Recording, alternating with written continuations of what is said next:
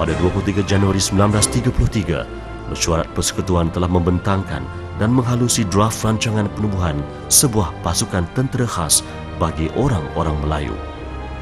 Pada pihak orang Melayu, harapan yang diletakkan adalah tinggi kerana penubuhan pasukan askar Melayu akan memartabatkan maruah dan kemasyhuran orang Melayu di tanah air sendiri.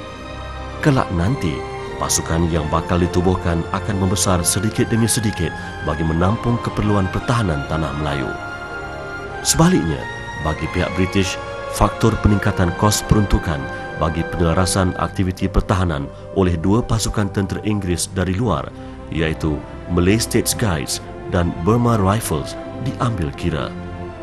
Pembentukan askar Melayu dilihat sebagai langkah bijak bagi penjimatan kos perbelanjaan pertahanan tanah Melayu dapat disimpulkan kedua-dua pihak iaitu Inggeris dan bangsa Melayu mendapat faedah mutlak daripada pembentukan askar Melayu ini.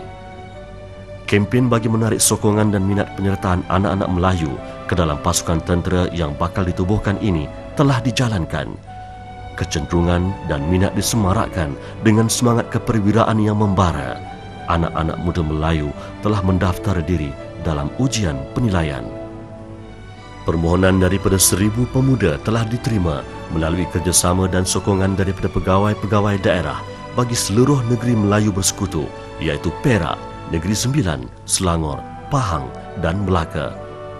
Setelah melalui ujian yang ketat dan terperinci, 25 orang pemuda telah dipilih menganggotai skuad percubaan askar Melayu dan diarahkan untuk melaporkan diri ke Hague Lines Port Dickson pada 1 Februari 1933. 25 orang anak watan ini adalah pengasas kepada pembentukan askar Melayu di mana mereka telah menunjukkan prestasi yang sungguh cemerlang dan berdisiplin tinggi.